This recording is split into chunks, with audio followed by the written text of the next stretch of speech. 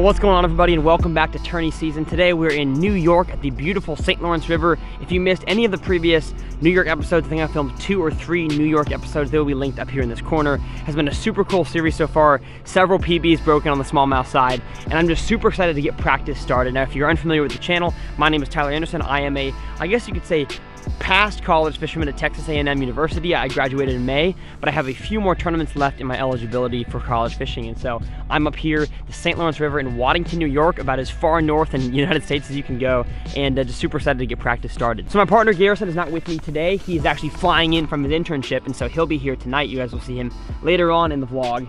But today is gonna be kind of me trying to figure out this river for the first time ever being on it. I guess yesterday I was on it, but it was way far south that way.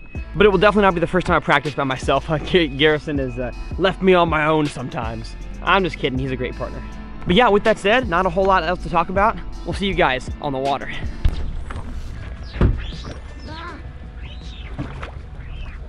It's definitely not ideal to fish by yourself. But I make it work. And we begin our day. This water is clear. Don't know if it's as clear as Thousand Islands in last episode, but it might be. what we're doing right now is we are looking for beds. It is spawn time here for the smallmouth, so we are looking around for some bedded bass. This island here, the back side of it has tons of stumps.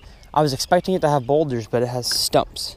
So we're gonna see if they bed on the back side of these stumps at all. I'm gonna try out all sorts of different things today. I'm gonna try out looking for beds, I'm gonna fish you know, shallow shoals. I'm gonna fish deep stuff. I'm gonna go all over the place. So we're gonna have a wide array of things for y'all to learn today. Now, when looking for smallmouth on beds, I think there's several different scenarios, but on a river especially, you're gonna wanna look for places that are just out of the current, that have some sort of bottom they can spawn on. So whether it's, you know, a back of stumps or boulders or whatever this kind of area is, smallmouth love to spawn around things. They don't like to spawn in the middle of nowhere. And I really, I guess largemouth don't really like to spawn middle of nowhere either. So that's a good distinction.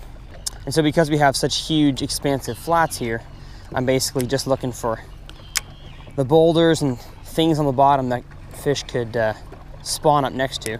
And I found a bed over there and a few beds around here, but nothing much major yet. Today is really all about finding like what area of the river these fish spawn on. So back at Thousand Islands, it was on the islands themselves. But out here, I'm not sure. Oh, there's definitely a bed. Is it empty? Yes, no fish on it. So yeah, that's the weird thing I'm finding right now is that some of these beds are empty, which I guess some of the bass already spawned. I wouldn't think they'd be done already though. Well, zinger! Where does bed go? Where the heck did that fish go? And these fish are weird. He is not interested. Gosh. That's a four pounder. Holy smokes. Huh. It's a big old buffalo carp. All right, this is my last cast here. We have a ship coming through and he's about to push a massive wake my direction, so. I'd prefer to not get crushed against the shore. Would not be ideal. Whoa. Good grief. How many birds can live in there? Wow. All right, what's up guys? Don't, oh, don't poop on me, please. No. Oh, there's poop everywhere. Oh, poop is falling everywhere. Please no. Please no. Oh, yuck. I'm not leaving. Y'all can fly all you want, but don't poop on me. Did they poop on me already? No. Wow. All right, all right, chill. Birds, I'll leave. Attack of the crazy birds. Let me get a thumbnail of this. Go back to your nests. I'm not doing nothing. How do you catch these bass? Well, I really wish that I could bring you guys a fish catch right now, but these fish are being really weird. I can't figure out any sort of offshore deal. And to be honest, they shouldn't be out there. And I see like that's a, that's a four and a half pounder right there, just cruising. And he was, they follow my hair jig, but I cannot get them to eat it.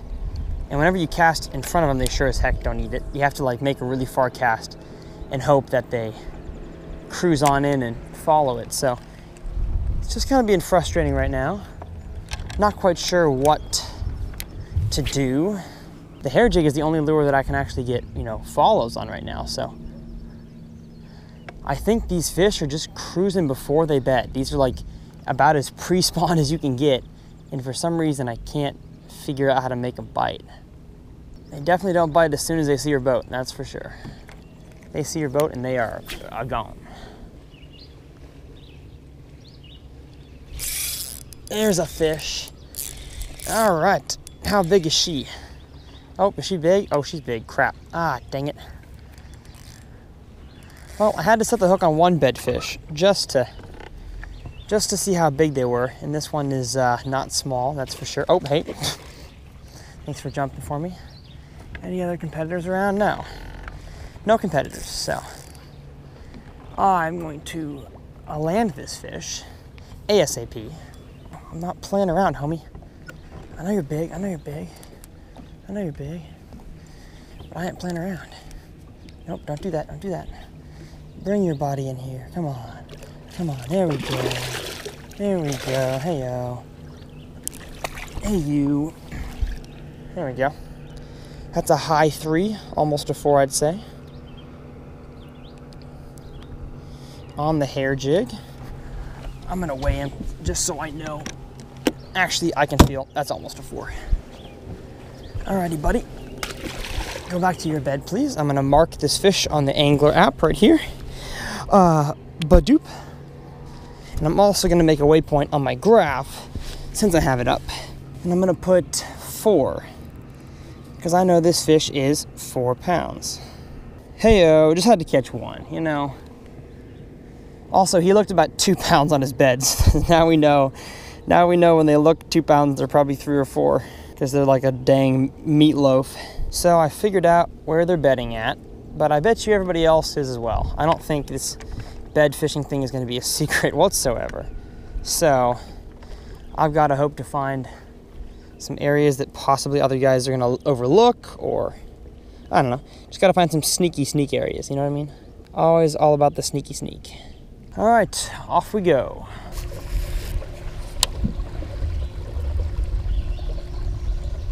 Oh gosh, dang cruiser. A dang cruiser. You sure he's a dang cruiser? I'm gonna dang cruise around and see if he's on the dang bed.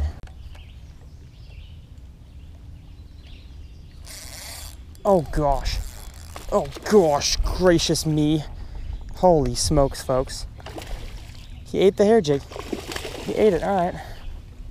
Any competitors around here? Oh gosh, there's somebody over there. All right, well, you can sight fish them even if they're not on beds. That is good to know. That is good to know. That is really good to know. This is huge. These fish, y'all, they look like stinking two and a half pounders in the water, and this fish is gonna go like almost five. Holy cow. Holy cow. Wow. That's a four something. Oh, look at that. This one's blind. Yeah, that's a low four. Alrighty. Thanks for playing, Pam. Okay, good to know. So the cruisers will hit a hair jig. Yes you just got to way back off them. And that one was different because a lot of the cruisers I was seeing earlier today um, were, would not quite stay in the same area. So this one, it's potentially, so this one may have been on a bed, but I just, it's a bed somewhere in this area. But I cast the hair jig in front of him and he uh, came forward and ate it. So heck yeah. All right, update. My trolling motor is uh, dying. I've been on 10, literally. I've been keeping it 100 all day and uh, it cannot take it no more. I've trolled till I can't no more. So we are gonna look for a few more beds and then kind of go try some offshore pre-spawny type stuff. And we'll let you know what happens. Eat it. Eat it, buddy, eat it. I usually wouldn't waste time fishing for a bedfish like this, but he's small and I didn't drive 32 hours to New York to not catch some fish, so we're gonna catch a few because we can.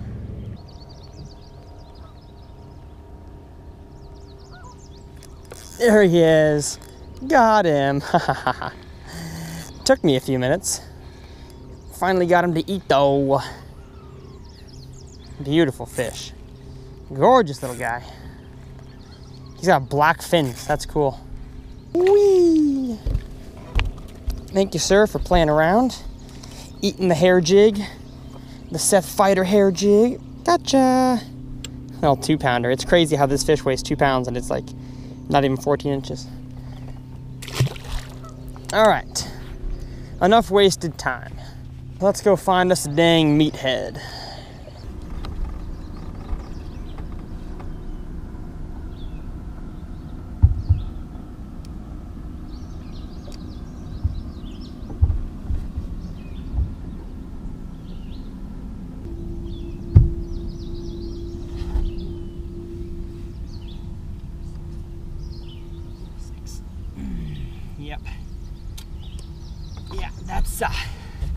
That's a six.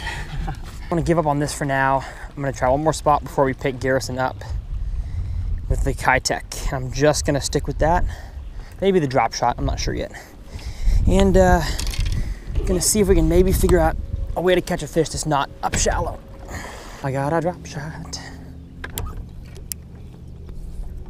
We got a nice current break here. Is there even any current here? Where's the current going? What the heck? Did I get turned around? I feel like the current's going the opposite way. No, no, the home is that way. The current's going this way, okay. Oh, it is peaceful out here. It just hit me like how gorgeous this place is. I was just like zoning out as I was working my Keitech and it's like beautiful. Oh man, this is cool no matter how we finish in this tournament, I will uh, have had a blast and see some beautiful, beautiful scenery.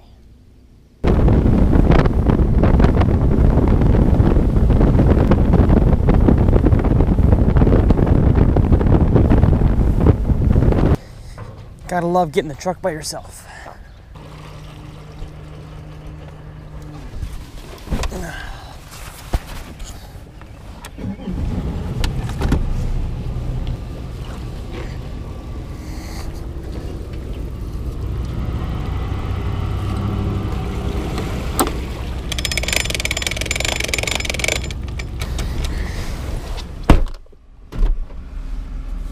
First you gotta drain the lower unit and then you put the stick on. Well, that was a day for sure. I'm not necessarily sure if that was a good day or a bad day. Um, of course, don't want to talk too loud, got other boats around me, but um, I didn't really catch that many fish. So you guys, as you guys saw in this video, I, uh, I didn't catch that many and I mean, the reasoning behind that is because I was looking for beds most of the day. I mean, I think like 85% of the day I, was looking for beds. And in this scenario, I mean, I could have had 20 pounds today, but that's not the that's not the point. The point is to find these beds for tournament day.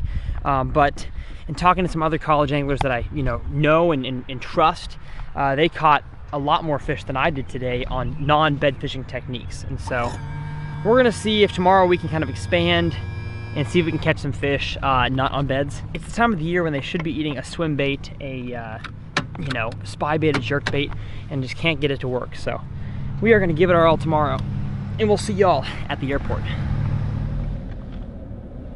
Arrived. Thank you so much. Hey, I'm here. Look who it is! What's up, folks? Ready to catch some beans. Yes. And around here, I got like a lot of trash. I'm joking. Let's go meet the people. How's my hair look? Garrison's here. He looked great. They're on beds. They're on beds? They're on beds. is this a new Skeeter? Yeah, this is the FX20, 2022, 2022 FX20 right here. They got the, uh, the roll down ladder and everything. boys, girls, and everything in between. I'm just kidding. There's none of that around here. Done. Unsubscribe. they want to practice. Done. Donzo. Gonzo. And uh, but we're gonna kind of describe real quick how I caught the fish that I did. Now, as you guys saw, I did not catch many fish today purely for the fact that I wasn't really supposed to catch them. On, on beds, you don't want to catch the fish because odds are they're not going to bite again. I've heard, though, the smallmouth do end up biting again, and so we might catch a few of our bedfish tomorrow just to see if we can break a PB or something. But um, I did find a few bedfish kind of, I think 10 or 12 up shallow um, around boulders, which is the majority of times where you're going to find a smallmouth bass is on a boulder or on a, a, a or, you know, and that's the majority and that's the majority of the places that you're gonna find a smallmouth is around some kind of piece of cover. And so, of course, tomorrow, if we get any sort of sun and slick water, Garrison and I are gonna look for some beds. But I think tomorrow is gonna be spent mostly I wouldn't say mostly catching fish, but mostly finding areas with the Keitech, the spy bait, the jerk bait that we can catch fish, you know, when the weather is not um, good for bed fishing. And so Garrison is excited. He, he caught a smallmouth like last week, but a Texas smallmouth. He's never caught a New York smallmouth. Not that I'm one to speak on crazy experience, but it is uh, it is fun. It's a blast. Now the setup that I caught all of my bedfish on today, which is actually my little like you know covering water setup, is like I talked about in my last video, my hair jig and my hair jig rod. This is the Outkast Tackle Seth Fighter jig. This jig is an eighth ounce. I think they make heavier than eighth. They might make, no, I think eighth is the heaviest they make because most people don't fish heavier ones. I do wish though that he made a heavier one or I wish that I had looked online, I don't know.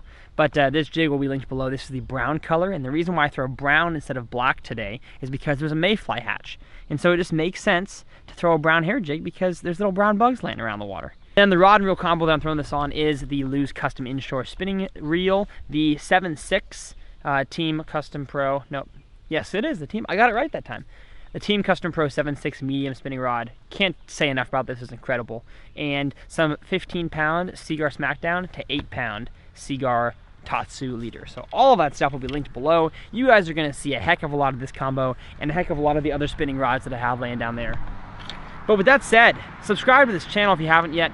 Smash the like button so hard that your finger loses all feeling. I just want to smash it so hard. And with that, we'll see you guys on the next episode of Tourney Season for day two of practice. Garrison, you want to smash the, you don't smash it hard, but just like put your hand to the three, two, one. Smashed.